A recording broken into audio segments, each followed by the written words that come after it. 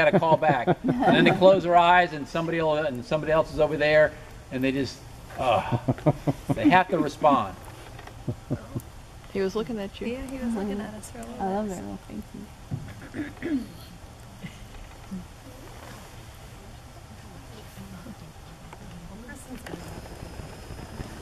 And where's the nest?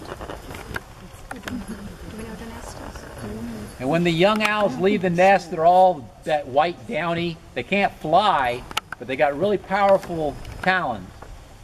Because the nest is somewhere to the left